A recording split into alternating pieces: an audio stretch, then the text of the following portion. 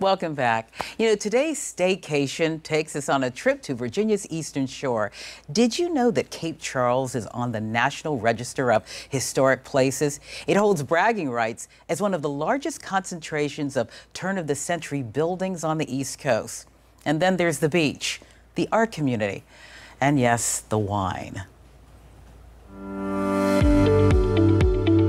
It's a beautiful little town on the bay.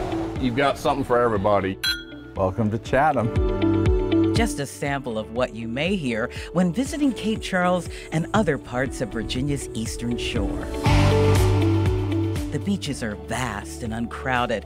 And for your budget, take note of this parking is free, leaving you to spend only your Oh, time. But they've started to peel the paint off, paint off here, and you can see the old Coca-Cola I know, isn't that cool? I mean, right on. A short walk from the water takes you to the center of town.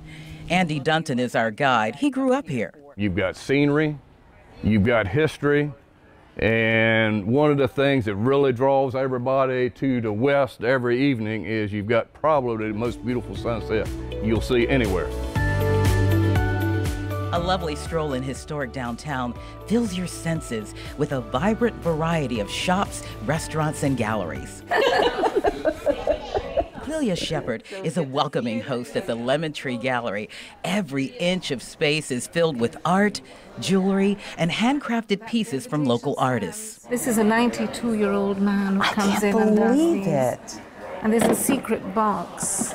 I think you take these away and you pull this out.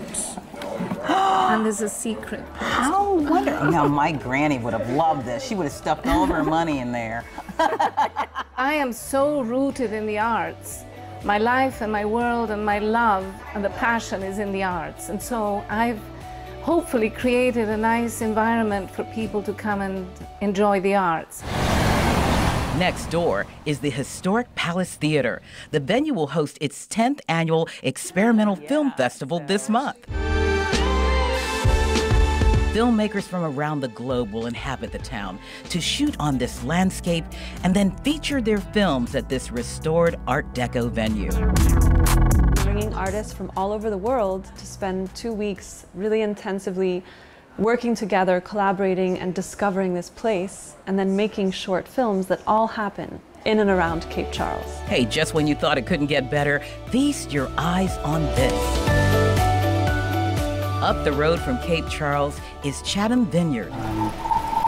The focus is on farming, producing premium wine grapes. History buffs will appreciate the history of this land, which has been working as a farm for four centuries. And people love these flights because when you pick up the glass, you can see the description. So for rosé, it says strawberry, watermelon, bright. John is a second generation wine grower. Together with his wife Mills, they've transformed this land as a mix of farming and vineyard since 1999. No doubt the wine is the featured star. Visitors have the option of tasting the wine served outdoors in nature's elements and then learning how nature, the soil, and location play a role in the overall experience. We're really capturing the flavors of the land so people can come to Virginia's Eastern Shore and actually taste place. Do you hear that? You can actually taste the place, right? And it's just a short drive over the Chesapeake Bay Bridge Tunnel, and you can enjoy all Cape Charles has to offer. We have a series of staycation segments for your consideration on our website, WTKR.com. It really is a